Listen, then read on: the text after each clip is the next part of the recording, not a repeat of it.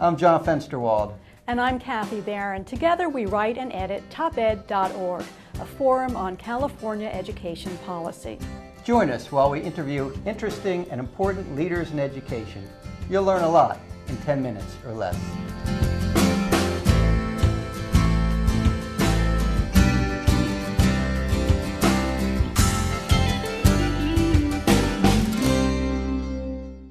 John Fensterwald, and I'm pleased to have with me today California State University East Bay President Mohammad Qayoumi. The president has been uh, he's been president for four and a half years and a university educator for three decades. He's also a tenured professor of electrical engineering, which gives him an interesting perspective on a subject that we're going to talk about today, which is STEM, science, technology, engineering, and math education. So, Mo, thanks for joining us. Uh, thank you, John. So, you're championing a uh, STEM education ini- initiative on behalf of the university. So, please tell us what is it and why is it important? Yeah. Well, STEM education is very important because it's so central to our global competitiveness, our national security, and the quality of uh, life that all of us would like to have, and creating the thriving communities and economically successful areas. And if you look at the, uh, the jobs that are, uh, that are fastest growing, seven out of 10 in the next 10 years will be in the STEM related field. And of the 25 highest paid job, 16 of them will be in the STEM related fields. So it's so central to our regional stewardship and future economic uh, uh, viability and vibrancy of our region. Obviously, critical not just to the Bay Area, but to all of California. So there are three components uh, to this STEM initiative, and uh, they are graduating STEM ready professionals, increasing the quality and quantity of teachers of STEM disciplines in K 12 grades, and also partnering with industry and community groups to uh, build a pipeline of students ready to enter to study chem STEM in college. So just let's talk about the last two today. Uh, preparing K-12 STEM teachers. Um, what are your hopes and, and for the pipeline here? Okay.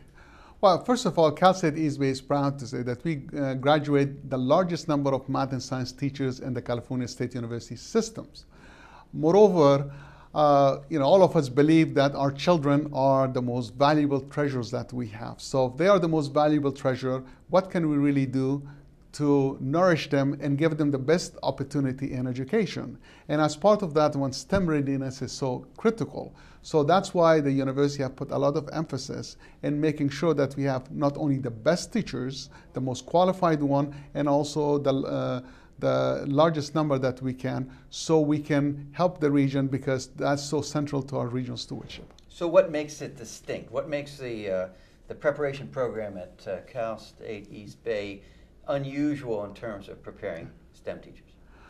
Well, there are several factors because first of all, when you talk about learning, learning is not just uh, accumulating new information, but it's really an enduring uh, uh, attitude towards critical, uh, critical thinking, uh, being able to work in groups, and also be able to remain engaged and be a lifelong learner.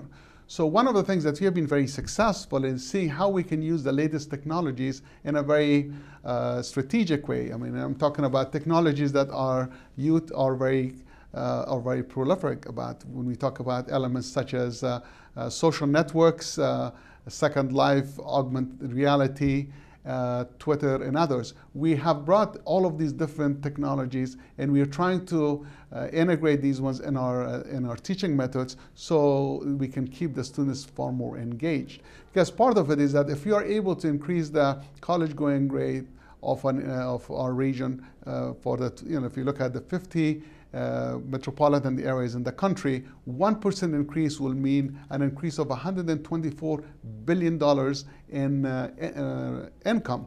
So uh, assume if you can do that on by 10%, that's over a trillion dollars. Mm-hmm.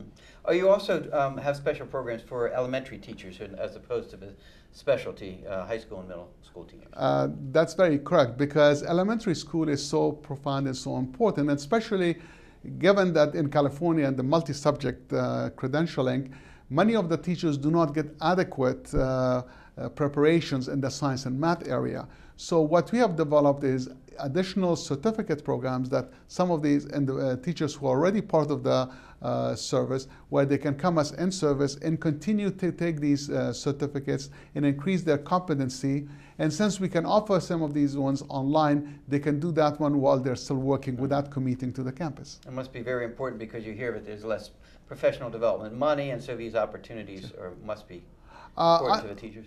I think these opportunities are there. You know, unfortunately, there are not enough of them, but I think many of them are there. And I think in many cases, some of the teachers realize that for them to become more uh, to become more marketable and trying to keep their skills, many of them are trying to pursue those.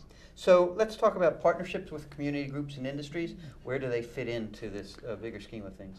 Well, partnership is so critical to what we do, and as part of it, one of the uh, alliances that we have built, which is one of the four uh, models nationally, and it involves Santa Clara County, uh, Alameda County, and, and Contra Costa County, which is about 10% of the K 12 population for California, and only seven states that has a larger uh, K 12 population.